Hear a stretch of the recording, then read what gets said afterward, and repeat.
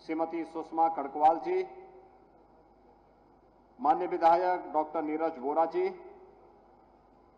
श्री अम्बरीश कुमार जी, श्रीमती जय देवी जी, विधान परिषद के मान्य सदस्यगण, श्री मोहसिन रजा जी, रामचंद्र प्रधान जी, लालजी प्रसाद निर्मल जी, श्री बुक्कल नवाब जी, इंजीनियर अवनीश कुमार जी प्रदेश के मुख्य सचिव श्री दुर्गा शंकर मिश्र जी, सलाहकार श्री अवनीश अवस्थी जी, प्रमुख सचिव पर्यटन व संस्कृति श्री मुकेश मिश्राम जी, प्रदेश शासन से जुड़े हुए सभी प्रशासनिक अधिकारीगण और प्रदेश भर से आए हुए सभी स्वयंसेवकगण और उपस्थित भाइयों बहनों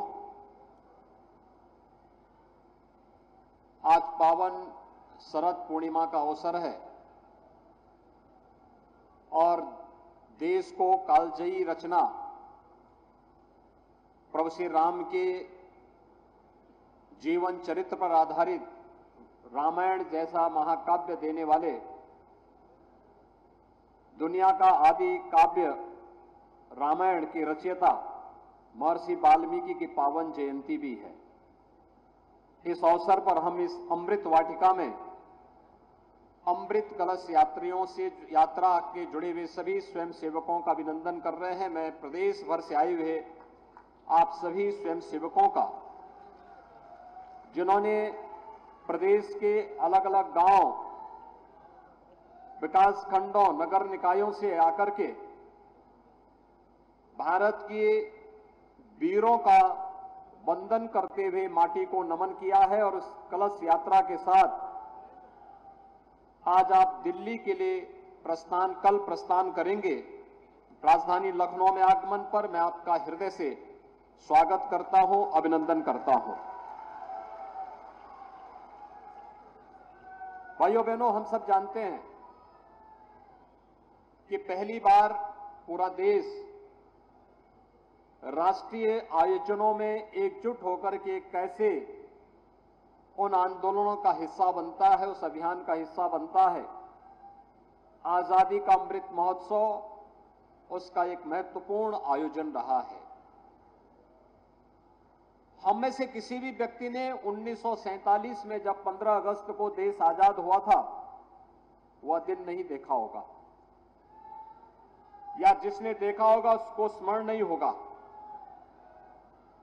जिसको स्मरण भी होगा तो उन कार्यक्रमों में भागीदार नहीं बना होगा। क्योंकि एक और देश की आज़ादी थी, दूसरी ओर विभाजन की त्रासदी थी। लेकिन पहली बार हुआ, जब हर घर तिरंगा के माध्यम से प्रधानमंत्री मोदी जी ने पूरे देश को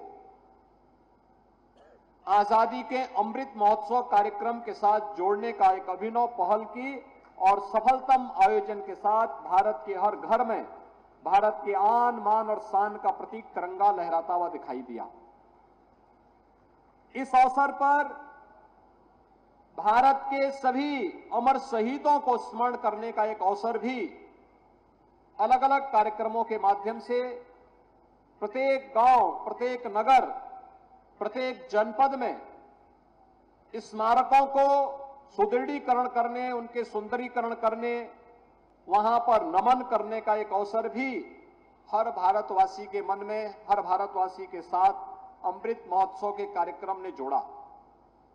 लेकिन अमृत महोत्सव के कार्यक्रम की शुरुआत आदरणीय प्रधानमंत्री जी ने साबरमती के तट पर 21 मार्च 2021 को जो प्रारंभ किया 15 अगस्त 2023 को उसका एक विराट स्वरूप हम सबके सामने देखने को मिला। और अब गांव-गांव से, हर विकास खंड से, हर नगर निकाय से, अमृत कलश में मातृभूमि के प्रति श्रद्धा और समर्पण का भाव व्यक्त करते हुए, कृतज्ञता का भाव व्यक्त करते हुए, एक और वीरों का नमन है, दूसरी ओर माटी का वंदन है और इन सबको लेकर के अब एक कलश यात्री देश की राजधानी दिल्ली के लिए प्रस्थान किए हैं। आज राजधानी लखनऊ में आप सब प्रदेश के सभी 75 जनपदों से 826 विकास खंडों से आप सब आज सात सौ बासठ जो हमारे नगर निकाय हैं, वहाँ से होते हुए यहाँ पर पहुँचे हैं। मैं इस अवसर पर प्रदेश शासन की ओर से आप सबका हृदय से स्वागत करता हूँ, अभिनंदन करता हूँ। इस अवसर पर अनेक कार्यक्रमों के साथ हमें जुड़ने का अवसर प्राप्त हुआ। खासतौर पर चौरी चौरा शताब्दी महोत्सव का कार्यक्रम काकोरी ट्रेन एक्शन का कार्यक्रम, बटेश्वर में श्रदेव अटल बिहारी वाजपेयी जी की पावन जन्मभूमि के आयोजन से जुड़े हुए कार्यक्रम और अमर शहीदों के साथ, उनके स्मारकों को भव्य स्वरूप देने के साथ साथ वे अनेक कार्यक्रमों के साथ, न केवल परंपरागत कार्यक्रमों के साथ, कलाकारों के साथ, बल्कि आधुनिकतम कार्यक्रमों के साथ, तकनीक पर आधारित कार्यक्रमों के साथ, ड्रोन शो के कार्यक्रमों के साथ भी जुड़ने का अवसर आज़ादी के अमृत महोत्सव के इन सभी आयोजनों ने हमें दिया। भाइयों बहनों, इस अवसर पर प्रधानमंत्री जी ने हर भारतवासी के सामने पंच प्रण का एक विराट संकल्प भी दिया है। आज हम सब आज़ादी के अमृत महोत्सव के बाद आज़ादी के अमृत काल के प्रथम वर्ष में प्रवेश किए हैं। आज़ादी का अमृत काल का प्रथम वर्ष कैसे आने वाले समय में आगामी 25 वर्ष की कार्य योजना को आगे बढ़ाते हुए भारत को दुनिया की एक बड़ी ताकत के रूप में विकसित भारत के रूप में स्थापित करने में सफल होगा। इन संकल्पों के साथ हर भारतीय को जोड़ना होगा। और इसके लिए पंच प्रण प्रधानमंत्री जी ने तय किए।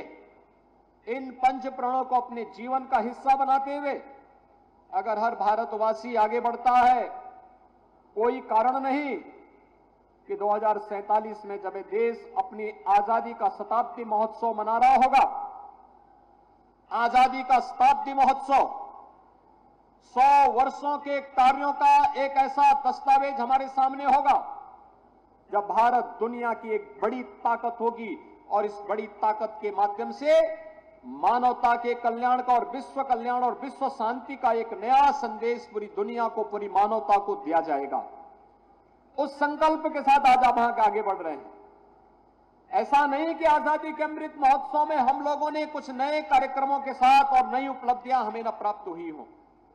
आज़ादी का अमृत महोत्सव का कार्यक्रम, जब देश अपनी आज़ादी के 75 वर्ष पूरा किया, तब भारत उस ब्रिटेन को पछाड़ करके, जिस ब्रिटेन ने लगभग 200 वर्षों तक भारत में शासन किया था, उसे पछाड़ करके भारत दुनिया की पांचवी बड़ी अर्थव्यवस्था बना। जब भारत अपनी आज़ादी का अमृत महोत्सव मना रहा था, तब दुनिया के 20 बड़े देशों के वे समूह, जिनका दुनिया में, दुनिया की अर्थव्यवस्था पर, दुनिया के ट्रेड पर, दुनिया की इकोनॉमी पर, जिनका एक अधिकार है जी ट्वेंटी के उस समूह की अध्यक्षता करने का अवसर भी भारत को प्राप्त हुआ। और अभी आपने देखा होगा, प्रधानमंत्री जी के नेतृत्व में दिल्ली में आयोजित जी ट्वेंटी के समिट ने दुनिया के 40 देशों के राष्ट्राध्यक्षों की उपस्थिति में भारत की ताकत का एहसास दुनिया ने किया। आज दुनिया का भारत के प्रति नज़रिया बदला है। भारत आज एक संकट मोचक के रूप में जाना जा रहा है। दुनिया के अंदर जहाँ कहीं भी संकट आता है, भारत और प्रधानमंत्री मोदी जी की ओर लोग निगाहें लगाकर देखते हैं। आशा भरी निगाहें उठती हैं कि मोदी जी के नेतृत्व में कुछ रास्ता निकलेगा। एक राह निकलेगी, शांति की, सौहार्द की, कल्याण की, और उस मार्ग को प्रशस्त करने के लिए 142 करोड़ लोग अगर संकल्पित होकर के प्रधानमंत्री मोदी जी के नेतृत्व में कार्य करना प्रारंभ करेंगे, कोई कारण नहीं। आने वाला कल भारत का होगा, और दो में भारत दुनिया की एक बड़ी ताकत बन करके दुनिया को मार्गदर्शन और नेतृत्व देने की स्थिति में होगा। इस संकल्प के साथ, इस कलश यात्रा को हम लोग उत्तर प्रदेश से पूरी भव्यता के साथ, पूरी गरिमा और गौरव के साथ, पूरे अनुशासन के साथ लेकर के जाएँगे। अपनी माटी के वंदन के साथ साथ वीरों के नमन के इन कार्यक्रमों के साथ हम जुड़ेंगे। इस विश्वास के साथ मैं आप सभी प्रदेश भर से आए हुए स्वयं सेवकों को, कलश यात्रियों का। प्रदेश की राजधानी लखनऊ में एक बार फिर से अभिनंदन करता हूँ, स्वागत करता हूँ और विश्वास व्यक्त करता हूँ कि उत्तर प्रदेश का योग्य नेतृत्व आप सबके साथ दिल्ली में इस कलश यात्रा के साथ जाकर के इस